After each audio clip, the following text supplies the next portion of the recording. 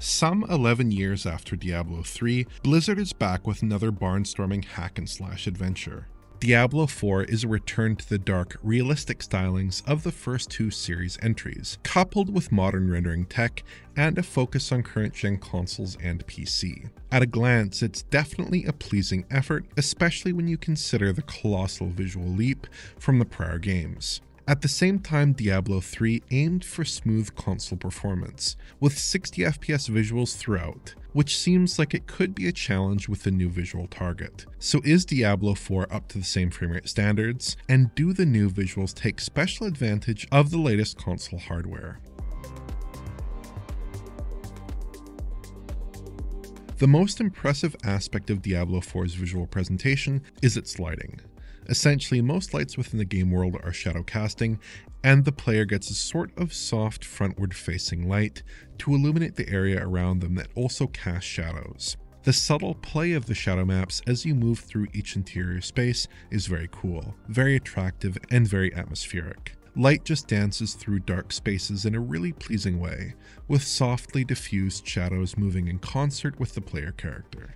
There are some interesting tricks going on here as well. Certain light sources showcase a kind of variable penumbra effect at times, with shadow detail blurring out at range, and in some circumstances the lighting can cast multiple shadows at once off the same object. Diablo 4 isn't pushing any boundary expanding tech here as far as I can tell, but a lot of attention has clearly gone into lighting the game, especially in Diablo's softly lit dark dungeon interiors. Diablo 4 also features quite impressive environmental detail and asset work, each space is caked with geometry, with a ton of little crannies and crags across every worn surface. The game is always presenting a top-down view nearly parallel to the ground, so you don't really get the opportunity to inspect anything from close range, but from the gameplay view, all the details in the world hold up very well. Materials appear to get a very solid PBR treatment, which lends the environment some muted but accurate look, with soft, diffuse snow and dirt, shiny worn floors, and speckled wet stone. The overall look of the game reminds me quite a bit of 2021's Diablo 2 Resurrected, albeit this time with nicely modeled, fully 3D environments and accurate lighting. Occasionally, the game will segue into some proper in engine cutscenes, which are presented with Blizzard's typical cinematic flair. These sequences do look pretty impressive and represent a big leap over other Diablo titles, which simply didn't have the graphical fortitude to pull off real-time close-ups like these, instead relying largely on pre-rendered cinematics to tell their story. You do still get a high-end CG intro in Diablo 4, but the other story segments are real-time sequences, which manage to hold their own despite the close camera angles. But the core of the Diablo 4 experience lies in its fast action combat. Like in Diablo 3, enemy groups tend to be large and come at you fast, necessitating screen filling crowd control and AoE abilities. When the screen is packed full of enemies and spell effects, the game looks excellent, but it still manages to remain legible for gameplay purposes. On a micro level, there's lots of cool touches as well. My sorcerer's ice spells have excellent looking shaders, and frozen enemies get blasted into icy bits when hit with powerful abilities. Physics are a big part of the combat. Enemies convincingly ragdoll when killed or when cleaved into pieces. Bits of the environment can get blown apart when hit with an errant spell or a melee strike. The results aren't as highly exaggerated as they are in Diablo 3, but it all feels appropriate given the more realistic tone. There's a lot of environmental animation too, like the pulsing mass here, alongside foliage that bends with the wind and a variety of weather effects. On the whole, Diablo 4 just feels very organic. The world has a certain lived in quality thanks to the asset work, and feels very interactive because of the lighting, physics, and nice little touches like geometric snow deformation. It's an impressively realized effort and a very polished game from a visual perspective. At the same time, we're not necessarily seeing very much in the way of current gen pushing tech. There's no ray tracing at hand, Shadows definitely take the form of shadow maps, for instance, and reflections are taken care of with SSR. And there are certain visual choices that stem from the game's isometric camera that won't suit all players. For instance, there's no true day-night cycle. Instead, the game switches between day and night every so often when you teleport from place to place, enter a location, or progress in certain missions. The game's shadow position seems carefully set for artistic and gameplay legibility reasons, but I'm sure this will annoy some players and there's no camera control whatsoever without the option to zoom out or change the camera angle at all. The game's camera position is a touch too close to the action for monitors in my opinion, and players have no ability to change that.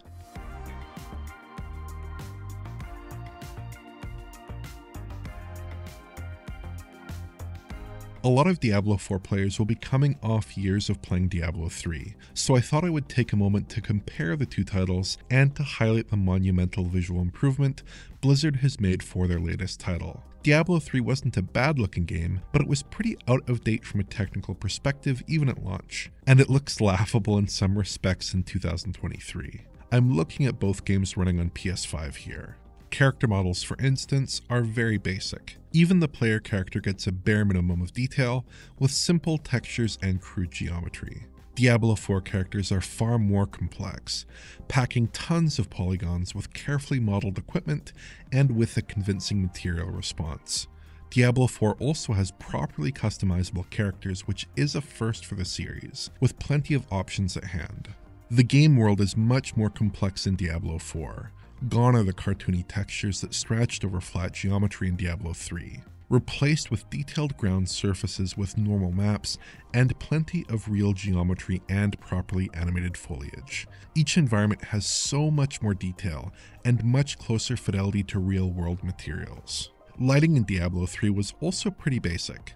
Most of the lighting data was baked with a subtle real-time light that followed the player. The game did feature shadow maps, but they didn't correspond to any particular light source in the environment. Diablo 4 has much higher fidelity real-time lighting with beautiful shadows, and spell effects also project light onto the environment. Now, Diablo 3 obviously had to work with a more limited set of hardware than the newest Diablo entry. The game ran pretty comfortably even on computers that were considered pretty mediocre in 2012, and targeted a full 60 frames per second on PS3 and Xbox 360.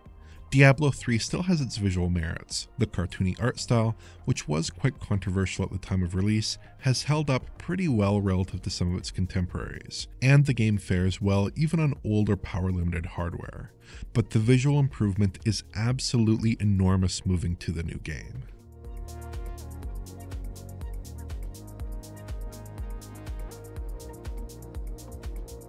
So Diablo 4 is a sophisticated and visually polished adventure, but how do the current gen consoles stack up? Resolution wise, Diablo 4 pairs relatively low internal resolutions with a form of upsampling, which based on the artifact patterns appears to be AMD's FSR2 to produce a sharp and detailed final image. On PS5 and Series X, the internal resolution appears to be roughly 1260p, with the possibility of dynamic resolution, though I didn't spot evidence of it in my testing.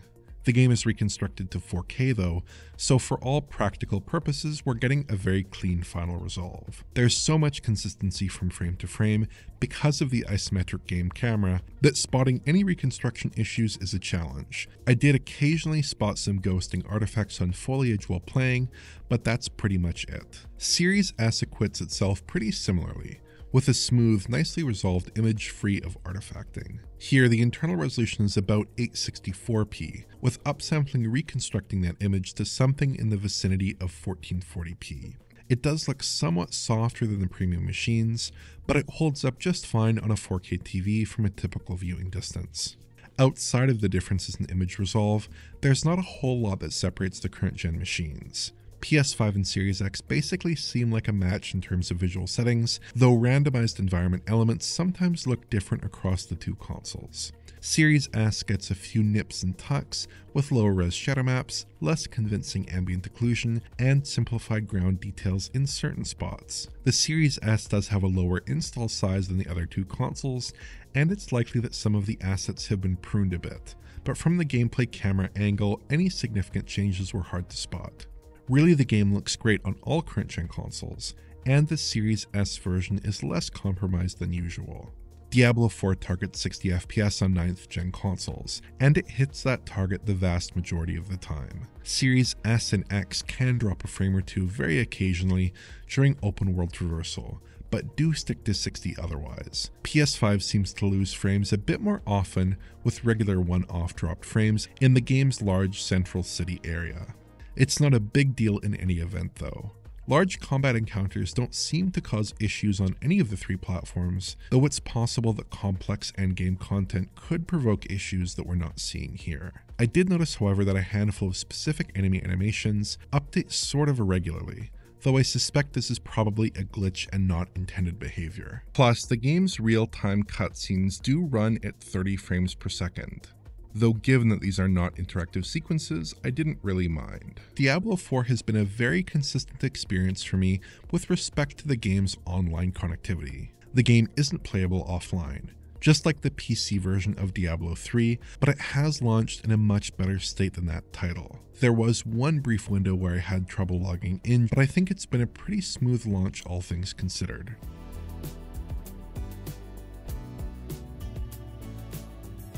Current gen consoles are mostly in good shape, so how does the game fare on last gen machines? I don't have time to run through every console here, so I've picked the PS4 as my point of reference. The biggest cutback by far is the move towards a 30 FPS framerate target. Diablo 4 aims for a mere 30 FPS on last gen hardware, and the game is punctuated with framerate drops and stutters on top of that, which can be quite severe at times. In my testing, both of these issues seem to be common to all last gen machines. There are also a handful of visual changes that are worth noting. Environmental geometry is simplified and looks a lot chunkier on PS4. Textures have a lower quality level, and shadow resolution takes another hit, with less distinct outlines than Series S. Internally, the PS4 is rendering the image at 720p, though the final resolved image appears to be upsampled to 1080p.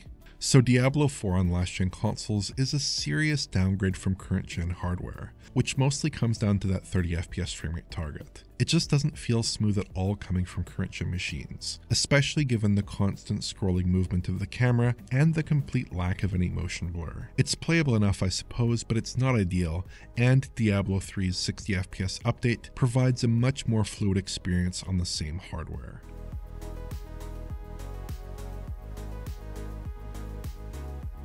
Diablo 4 is a game that surprised me quite a bit. Blizzard's recent titles have embraced lower detail, stylized art, which helps them stay fresh even into relatively old age. But Diablo 4 embraces the realistic look of the first two series entries and manages a less stylized look effectively.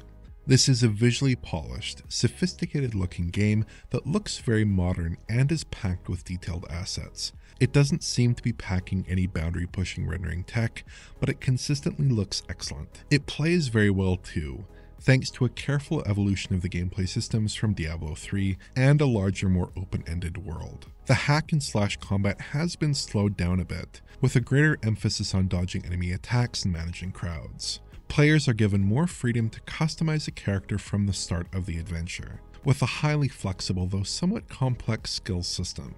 I found it a lot more engaging than Diablo 3, at least during the pre-endgame leveling process. The only real caveat is that the game is, understandably, heavier than the Blizzard titles that preceded it. Even though Diablo 4 isn't especially heavy by the standards of most recent releases, it's not a great experience on last gen hardware. On the plus side, the current gen versions are in excellent condition, and the game feels remarkably polished even at launch. Diablo 4 is a very impressive effort, and a welcome change of pace from the glut of technically compromised releases we've seen in recent months.